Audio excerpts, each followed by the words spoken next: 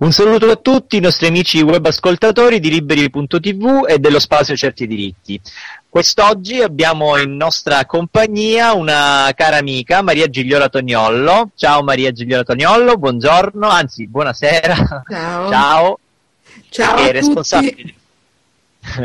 Ciao, è responsabile dell'Ufficio Nazionale Nuovi Diritti CGL e componente del direttivo dell'Associazione Radicale Certi Diritti. Benissimo, allora Gigliola, io mh, siccome oggi è l'8 marzo abbiamo deciso di dedicare una puntata speciale all'8 marzo e, e il titolo di questa puntata è La relazione tra omofobia e transfobia e femminicidio. Eh, io vorrei partire proprio da questo titolo e chiederti come donna, ma come responsabile anche mh, appunto dell'Ufficio eh, Nazionale Nuovi Diritti della CGL, cosa ne pensi di questa eh, relazione tra l'omofobia, la transfobia e il femminicidio? Ma io penso che di fondo il, il problema, cioè la, la- la malattia de- degli omofobi, eh, degli transfobi e di chi poi commette questi omicidi, sia un misto molto composto di ignoranza, di mh, prevenzione, di violenza, di arroganza. Penso che ci siano moltissimi punti in comune ehm, e, e credo che sia un accostamento eh, molto adatto, molto giusto, soprattutto oggi e, e soprattutto poi pensando anche per esempio tutte le sedi della CGL hanno esposto lo striscione contro la violenza alle donne.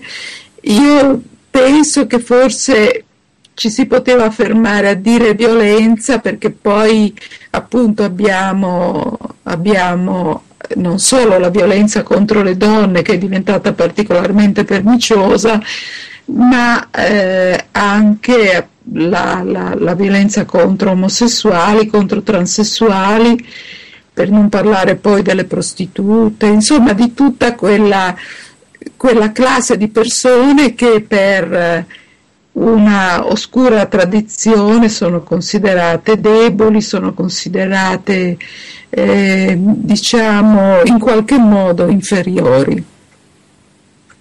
Certo, Eh, uno dei punti proposti dall'Associazione Radicale Certi Diritti è nell'appello proprio Io mi impegno, che è rivolta ai parlamentari e non solo. Esattamente nel terzo punto si recita combattere i crimini d'odio per sessofobia, omofobia e transfobia. Ehm, quanto pensi sia importante una legge eh, che tuteli dai crimini, come dicevi tu poc'anzi, di odio eh, legati soprattutto alla sessofobia?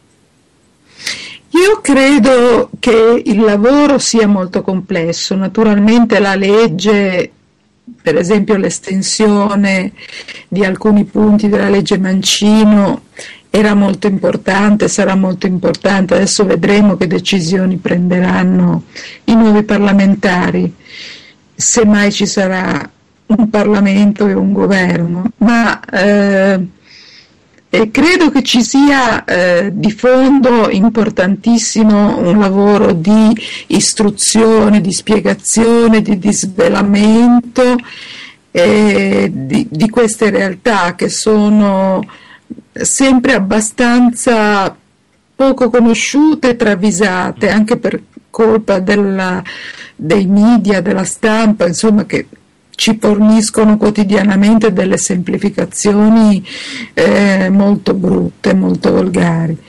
Ehm, un lavoro che parte dalla scuola, dall'educazione, eh, che eh, limita eh, anche le battute, le barzellette, le, eh, le sceneggiate di, di certa televisione che sono veramente orribili.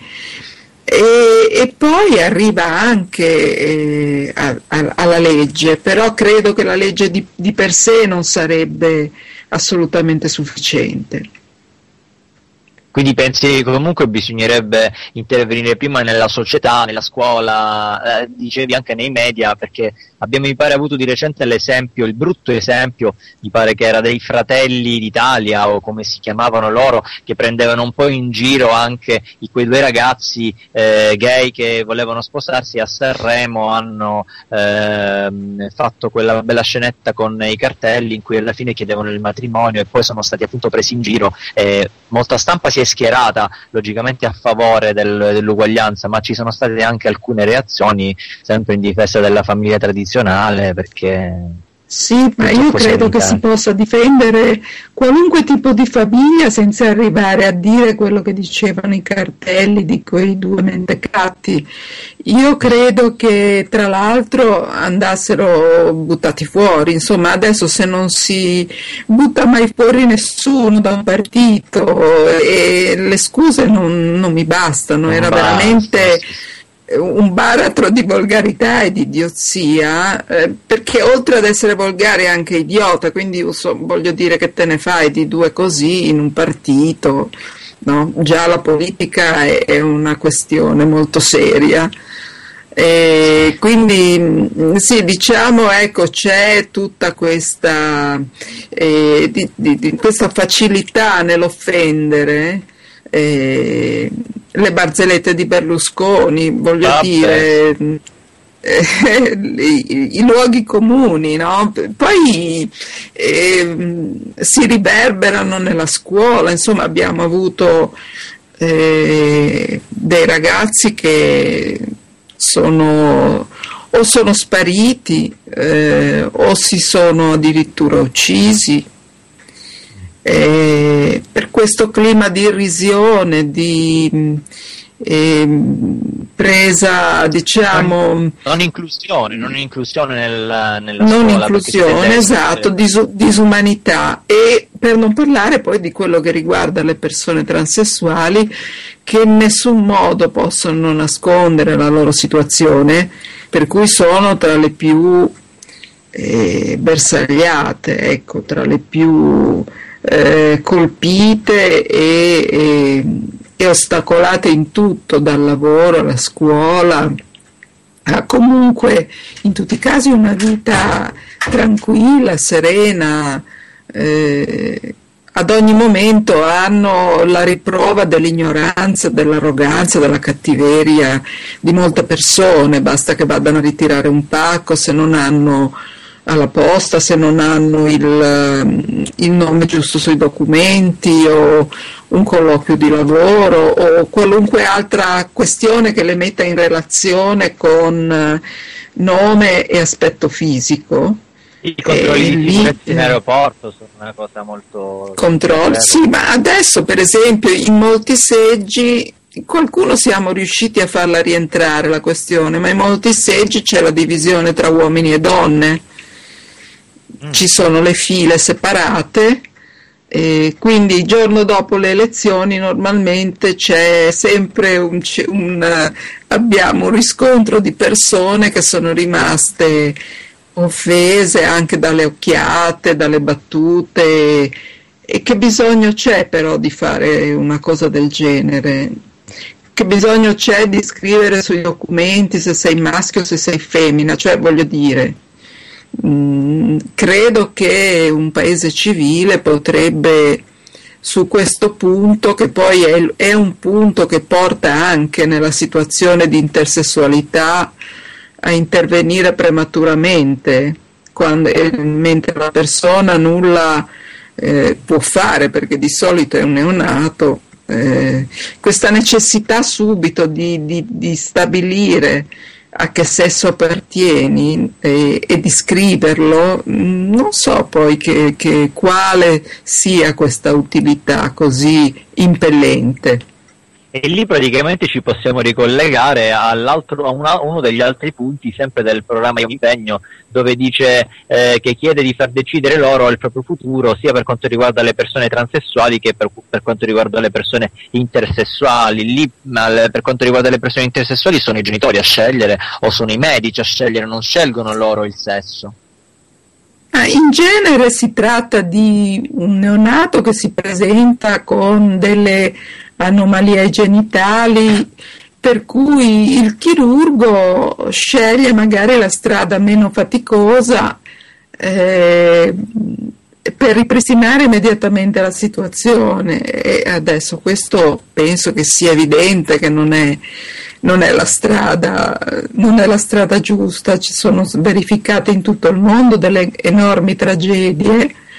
E anche di ragazzi che erano in una situazione di estremo disagio senza sapere nulla del perché e come mai non si sentissero in se stessi. È una situazione diversa dal transessualismo, però tuttavia le, le, diciamo, le radici della, del problema, de, del, dell'odio e della violenza che c'è nelle persone, del, diciamo, l'istanza di eh, incastrare tutto in caselle, eh, sacrificando la libertà, la libera scelta, lo sviluppo personale delle persone, è sempre quello. Certo, certo. Giuliola, eh, oggi è l'8 marzo della festa della donna, ma eh, purtroppo a fatica eh, io dico perché è sempre l'uomo a soprassedere su tante situazioni, almeno in ambito lavorativo, a prevaricare, scusa, oltre che nella politica. Eh, io dico che scontiamo un certo gap generazionale che probabilmente è colpa di una società fallocentrica in cui è sempre il maschio a prevalere, se non addirittura una eh, situazione di famiglia patriarcale in cui la donna è vista sempre come persona che deve stare al suo posto, addirittura nelle regioni del sud in casa e comunque in, in ambito lavorativo deve faticare molto. Tu cosa pensi di questa situazione? Beh, la situazione permane grave perché si pensa di avere fatto tanti chilometri, chiamiamoli così, nella, nella storia, con grandi donne che hanno e anche grandi uomini che hanno portato avanti discorsi di libertà personale. Poi però eh, ci sono stati tutti questi governi, alcuni particolarmente colpevoli, altri un po' meno, ma nessuno assolutamente innocente, che hanno scaricato sempre sulle donne il peso di uno Stato sociale che non riuscivano a finanziare. Eh, per cui era, è normale che la donna eh, eh accudisca eh, magari resti a casa per i figli, resti a casa per i vecchi, eh, è normale che eh, si scarichi su di lei tutta una serie di difficoltà Mm, eh, di strutture mancanti, mancano gli asili, mancano le strutture per le persone anziane e non c'è nemmeno un'educazione che avvii la persona anziana a eh, come dire, eh, non dipendere dai figli e, e, magari però avere una struttura dove vivere la sua vita, le sue difficoltà se ne ha, quando ne avrà eh, non c'è nemmeno un'educazione in questo senso. Si pensa che la donna, se proprio deve lavorare, insomma, eh, però prima ci deve essere tutto il resto, deve, e anche quando eh, molte compagne mm, obiettavano contro il fatto della, dell'andata in pensione paritaria con l'uomo, lo facevano secondo me con una ragione sbagliata perché eh, si diceva eh, perché poi la donna c'ha altre cose da fare, deve seguire qui, deve seguire là, insomma è chiaro che eh, una persona deve scegliere, uomo o donna deve scegliere mm. quello che vuol fare della, della propria vita, però non deve essere condizionata fin dall'infanzia al pensiero di essere la serva deve essere libera, se vuole dedicarsi alla famiglia deve poterlo fare, se vuole avere una famiglia e lavorare deve poterlo fare e non deve essere penalizzata per questo. Certo, certo, mi sembra giusto. Eh, Gigliola, guarda, Susanna Camusso è il segretario generale della CGL e rappresenta uno dei validi esempi di donne forti e caparbili in un paese che purtroppo le vede poco considerate. Immagino che tu la conosca da vicino. Ci potresti raccontare, non so, qualche aneddoto che ti è rimasto impresso, parlare un po' di lei? Beh, intanto è una forza della natura, questo si vede insomma da come si pone, Vabbè, alta, sì. bionda, molto, insomma non è, non è una piccola donna si vede che non è una donna indifesa. Io la conosco da diversi anni e è sempre stata un forte sostegno alla, alla mia battaglia per la laicità dello Stato, a sostegno della laicità dello Stato. Noi, insomma, diciamo 25 anni fa, alcuni di noi hanno cominciato in CGL a parlare di gay, lesbiche, trans eh, e di tutta una serie di questioni che poi sono andate anche sulla fecondazione assistita, sulla libertà della rete, adesso insomma sul testamento biologico tutti fatti che erano attinenti alla, eh, all'autonomia dello Stato rispetto al Vaticano, cosa che pare sia così difficile da capire nel nostro paese. E una delle più grandi alleate eh, in questa battaglia, anche se stava a Milano, anche se faceva altro, è sempre stata lei eh, che frequentava indipendentemente dal dal fatto che noi eh, facessimo quello che facevamo, frequentava già le consulte laiche, insomma aveva una sua iniziativa personale anche su questo. E, e, quindi è stato molto bello vederla arrivare a Roma, vederla entrare prima in segreteria e poi arrivare ad essere la prima donna segretario generale.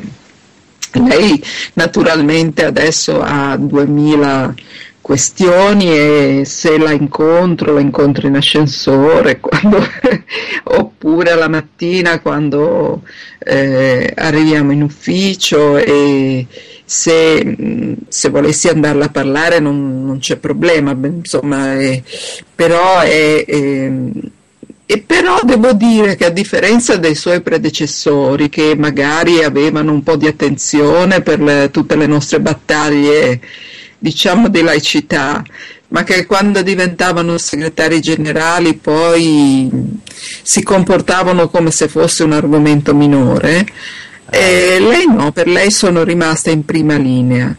Devo dire che anche come fisicità, non so, mi chiedevi di dirti un... Beh, per esempio quest'estate c'erano credo 70 gradi all'ombra, l'abbiamo vista nel podio delle, delle varie manifestazioni, eh, parlare, porre le nostre difese, eh, in eh, momenti in cui anche gli stessi uomini erano distrutti dal caldo, cioè eh, ha una forza anche fisica notevole, molto invidiabile, molto bello da, da, da, da vedere. E quindi ci vorrebbero più Susanna Camusso anche al governo, cioè gente forte che comunque ha una certa resistenza, ma sicuramente più donne come lei. Ma sì, forte, coerente, femminile, perché poi è femminile, eh, non è una, una, una, donna, come dire, maschietto, no? Cioè di solito si, si, può commettere anche, lei è molto femminile, siamo andati per eh, il Pride una sera eh, quando c'era il parco qui. Eh, tutta vestita di nero con una bella collana, insomma no, è una, Curata, è una bella insomma, comunque sicura. Sì, sì, sì, è una bella figura in tutti i sensi, non, non è mai trasandata, ama molto il bianco, eh, di vestirsi di bianco e ha sempre questo simbolo della CGL questa catenina col simbolo della CGL, beh in fondo è, insomma, credo che sia, forse l'anno scorso avrà fatto quattro ore di ferie, riposo, eh, mentre insomma noi le nostre ferie ce le siamo anche prese. Sì, sì, assolutamente. No, no, ma io penso che, ti ripeto, questa era una domanda eh, un po' anche retorica perché comunque io la considero un personaggio molto importante, una donna molto importante della scena sociale e politica italiana. È veramente è, è da ispirazione avere una donna come lei eh, nelle istituzioni. Quindi io mi auguro veramente che possa, possa, andare avanti e possa farsi strada e essere d'esempio per i giovani visto che purtroppo esempi di donne eh, ce ne sono poche visibili come lei ce ne sono poche quindi benvengano le, le Susanne Camusso se ce ne saranno altre. e ce ne fossero sì ce ne fossero tante. Vabbè noi abbiamo eh, anche Emma Bonino, sono due tipi diversi, eh. però insomma ci sono delle donne in gamba in giro, eh? sono, ce ne sono tante, magari anche che compaiono meno, con eh, posti di, di, grande pesantezza ma meno, meno conosciuti, però ci, siamo in tante bisognerebbe, eh, adesso mi è venuto in mente che spesso e volentieri i giovani vorrebbero essere, soprattutto le ragazze vorrebbero essere, non so, la velina, la modella, però bisognerebbe ispirarsi probabilmente a donne che comunque cambiano la storia eh, o comunque la fanno la storia ed è, secondo me potrebbe essere molto più eh, produttivo e soddisfacente far parte della politica e della storia per poterla migliorare come sta facendo Susanna Camusso e non magari essere una velina passeggera che può fare la stagione di turno e poi scomparire. Questo è una, un esempio Beh, forse certo. un po'. Diciamo che sono, ci sono degli esempi, ci sono delle figure che alzano il livello. Io, mm, eh, io ho sempre sostenuto che anche come velina eh, si possa come dire, avere un ruolo intelligente, no? Cioè c'è tutta questa mm. prevenzione eh, diversi anni fa una, un'assessora del comune di Napoli fu molto criticata perché aveva eh, istituito un corso per queste ragazze che volevano fare le veline, fare le ballerine, eccetera. Io l'ho sì. trovata una cosa molto bella, molto intelligente perché è chiaro che il mondo dello spettacolo ha una forte attrattiva, ma eh, però eh, non, andandoci preparate, eh, avendo la possibilità di conoscere quali sono i propri diritti, anche cose abbastanza elementari, e, eh, e poi ehm, credo che ehm, appunto non, non bisogna ne, nemmeno eh, pensare che, che, si fermi tutto lì eh, sono, c'è un'evoluzione nella vita e eh, penso che anche in quel, in quel, mestiere, in quel campo non sia così eh, assolutamente eh, come dire, necessario essere cretine o, no, beh, o stupide. Ecco. Quindi penso che ci sia la possibilità, basta però, insomma, chiaro, eh, non accontentarsi, eh, di mh, avere una vita mh, con un senso anche facendo certi mestieri nel mondo dello spettacolo che sono tanto attrattive per le ragazze di oggi. Ciò non certo. toglie che ovviamente ci sono delle grandi figure eh, che ci in qualche modo ci danno uno stimolo. Certo, certo. Eh, Gigliola, senti, spesso al telegiornale ascoltiamo mh, mm, di ragazze straniere che mh, mm, sono vittime delle mutilazioni genitali femminili che purtroppo non sono un caso isolato di alcuni paesi africani, ma eh, anche in Italia mh, mm, ne sentiamo insomma parlare. Come possiamo combattere una piaga che deturpa eh, queste donne proprio nell'intimo ma anche nel proprio animo? Ma questo è un argomento importantissimo perché vabbè, noi come, eh, diciamo, come radicali abbiamo portato avanti, eh, Emma Bonino e, e, e, altri hanno portato avanti molto bene questa battaglia con, con tutte le altre eh, donne, anche molti uomini a livello mondiale. E, ehm, io ho, ho, dovuto spesso discutere anche con compagni eh, e compagne, ma diciamo con compagni anche della sinistra, mm. che si illudevano su eh, come dire, versioni della mutilazione genitale femminile addolcite, cioè ehm, in qualche modo o fate con, eh, come dire, in, in locali eh, sanitari o con, eh, oppure comunque attenuate. Io credo che sia la, contro la donna una bestemmia in, in, ogni caso e che non vada yeah. assolutamente né eh, eh moderata né edulcorata né eh, consentita in strutture pubbliche per evitare infezioni o altro, ma che vada assolutamente cancellata anche dall'immaginario, certo. perché è assolutamente inverosimile quello che, eh, quello che sottende. Insomma, la donna non, non ha possibilità di godere eh, di, di, fare sesso, eh, insomma non, è, è un, una visione terribile della donna e quindi non c'è nessuna scusante, nessuna diminuzione, non, non ha importanza se eh, eh, è vero che viene molto spesso eh, fatta in locali antigenici e, con metodi orribili. Non ha importanza che ci sia però un, un, un ambiente migliore, un'anestesia, non, non deve esserci proprio la mutilazione genitale. È una prevaricazione comunque dell'uomo sempre, anche a livello eh, religioso, perché comunque è una prevaricazione nei confronti della donna, perché comunque viene fatta a bambine a, che non possono nemmeno scegliere, eh, c'è una violenza bella e buona che viene fatta nei confronti di una donna che in quel momento non ha nemmeno la capacità di potersi ribellare. È una follia, diciamo che è una follia perché poi ci hanno spiegato che non ha nessuna eh, giustificazione religiosa in realtà, non, eh, che non, non, ne parla il Corano, che non, non, non, è una questione che deriva da un tipo di, di fede per quanto criticabile, ma è proprio pura semplice prevaricazione, superstizione, ignoranza.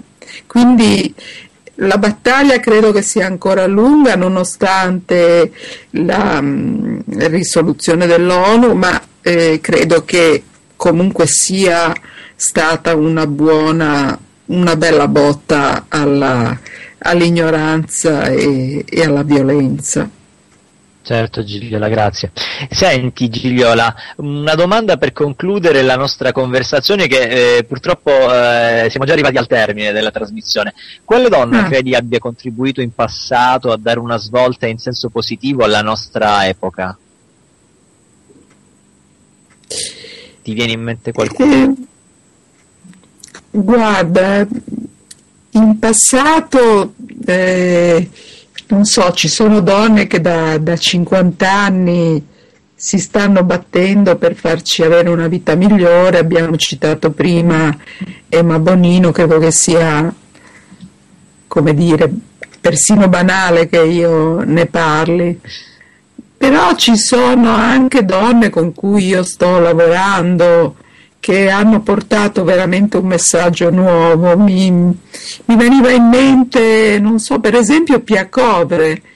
Eh, ah, sì, no. chi, chi, avrebbe detto 30-40 anni fa, quando con Carla Corso iniziarono a parlare di dignità delle prostitute, che le prostitute avessero diritto ad essere rispettate come persone, cioè sembra da, da dirlo adesso a noi che facciamo politica, vabbè è una cosa così, però eh, avevo letto la sua storia nei libri che hanno scritto, fu un, un enorme eh, passo avanti nella civiltà, ci fu, fu un, una rivoluzione che partì da una lettera a un giornale che avevano scritto loro. La, un'altra è la, la, senatrice Merlin, mi viene in mente. Eh, mi vengono in mente delle donne transessuali, per esempio, che eh, hanno portato un messaggio molto forte. Noi abbiamo Elena Velena, eh, abbiamo tante figure, cioè, certo avrei potuto magari parlare di Grazia Deledda, di Rita Levi Montalcini, però quello Vabbè. lo sappiamo. Io sì. se lo chiedi a me preferisco ehm, parlare di queste donne che eh, hanno fatto una vita intensissima di lavoro e, certo. e che sono, eh, per esempio, Pia, ma anche Elena, insomma, sono persone di grande profondità, di grandissima umanità. Eh, e, e, e, credo che eh, il, il loro contributo non sia abbastanza valutato. Ma speriamo allora che in futuro eh, ci sia magari uno sviluppo maggiore mh, mm, per loro e che comunque contribuiscono quotidianamente al cambiamento di questo paese. Io Gigliola, prima di salutarci, volevo invitare tutti i nostri amici web ascoltatori al nostro congresso che si terrà il il sesto congresso dell'Associazione Radicale Certi Diritti che si terrà a Napoli il 5, il 6 e il 7 di aprile e, e voglio dire che a questo punto il nostro congresso è dedicato a una grande donna eh, che è Rosa Parks. Sì, Rosa Parks, Rosa Parks non... esatto. esatto. quindi abbiamo già una grande donna ehm, che anche lei ha combattuto contro la segregazione razziale, eh, ha fatto quel gesto di cui eh, hanno parlato tutti negli ultimi eh, 50 anni, si può dire, ma eh, da tanto, di eh, non cedere il posto riservato ai bianchi eh, sull'autobus e di rimanere seduta lì ed è stato forse primo, uno dei primi atti di non violenza, di, di manifestazione posizione non violenta nei confronti di, di un oppressore che era in quel momento eh, dinanzi a lei. Certo. Quindi invi- invitiamo i nostri, i nostri, amici a venire numerosi al congresso e speriamo che, speriamo che possano, possano, capire ancora di più qual è l'importanza che l'Associazione Radicale Certi Diritti vuole dare alle battaglie di diritto e di laicità.